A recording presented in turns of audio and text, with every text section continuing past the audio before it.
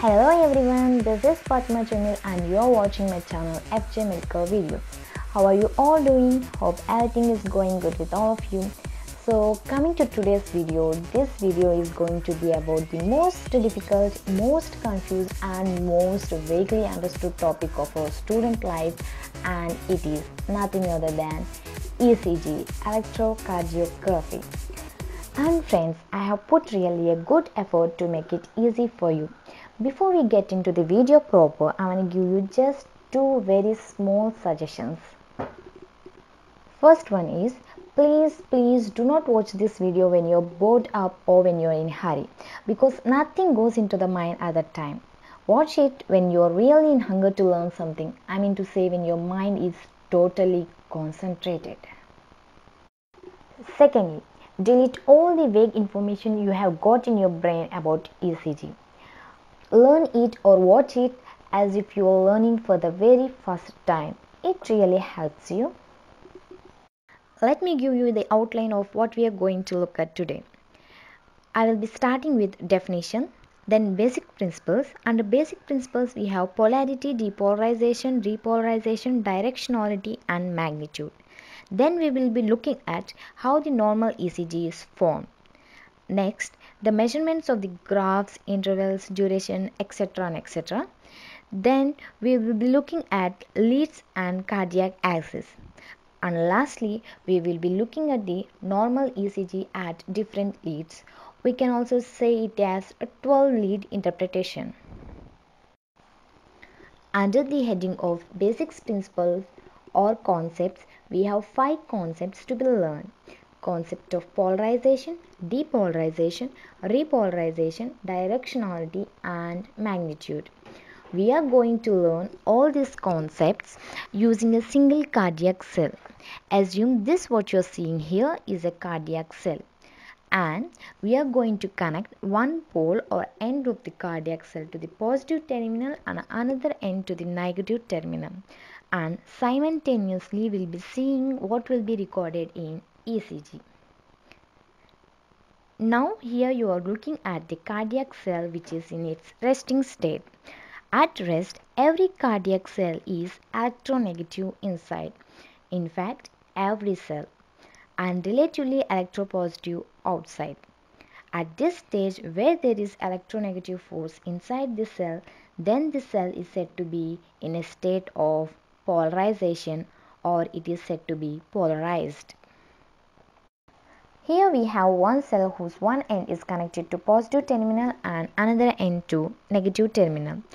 Inside the cell is full of negative ions, but as these negative ions are not moving either this way or that way, in the ECG recordings we get a simple flat line. It does not matter whether the cell is filled with positive ions or with negative ions. If there is no motion of the ions to any side, there is no electrical activity. So there is no positive or negative deflection on the graph and we get a simple flat line. In this picture, as you see, the positive ions are moving towards the positive terminal. The positive ions direction is indicated by this arrow.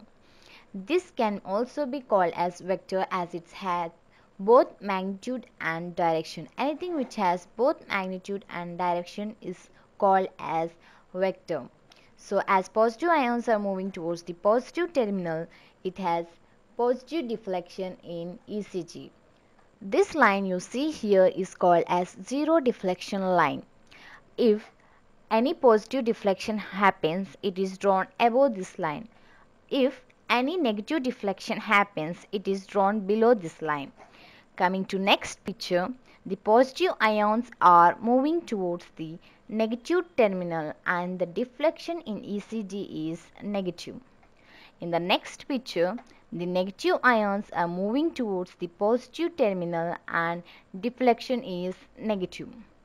In the last picture, the negative ions are moving towards the negative terminal and the deflection is positive.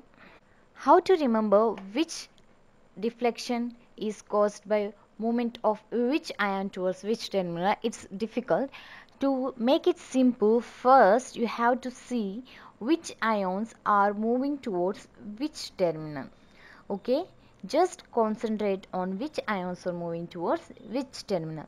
Then you come back to this picture by seeing this picture you will uh, remember the childhood school days mathematical multiplication where it says that when positive is multiplied by positive we get the answer in positive. Or when negative is multiplied by negative we get the answer positive.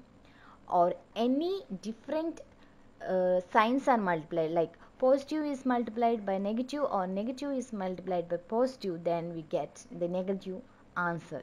In the same way when positive are moving towards the positive both are same symbols. We get a positive deflection. When negative ions are moving towards negative terminal both are same symbols. We get a positive deflection. But when positive is moving towards negative terminal these are different so we get negative deflection.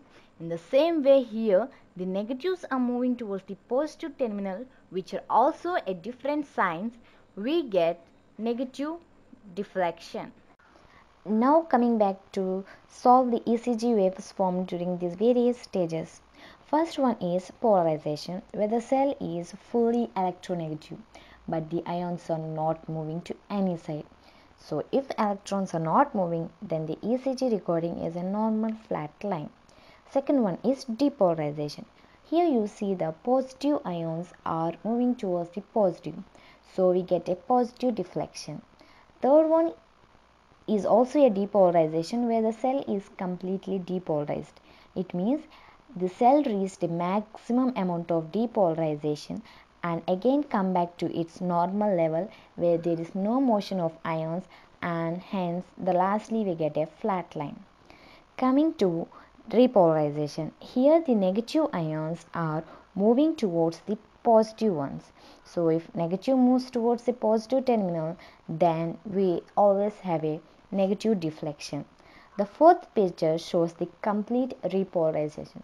That means the cell has reached its maximum level of repolarization and again get got back to its normal state of no electrical activity. Now lastly coming to the concept of magnitude. To understand it, let's take the whole heart into consideration. On the right arm we have the negative pole and on the left arm we have the positive pole.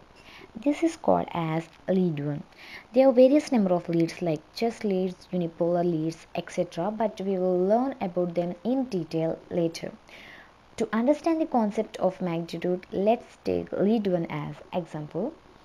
Let's assume that if depolarization of ventricles or the vector of depolarization of ventricles is in this direction, then you see a big positive wave on ECG. The reason is because this vector is parallel to the lead. Now, if you look at a different angle and the vector of depolarization is in this way, as it is not as parallel as the above one, you see a relatively small positive wave on ECG. And if the depolarization vector is perpendicular to the lead, then we have no electrical activity and we have a flat line. So the magnitude of deflection relates with how parallel the electrical force is to the lead. If it is more parallel, then the deflection magnitude is more. If it is less parallel then the magnitude of deflection is less. It is like magnitude of deflection is directly proportional to how much parallel is the lead to the vector. So finally today we have learned all the basic concepts of ECG. That's it for today. Give a quick revision to it and if you like it, hit on that like button and if you do not want to miss any of my videos, please hit on that subscribe button. You will get all the notification immediately as soon as I post a video on YouTube. Thank you for watching. Bye bye.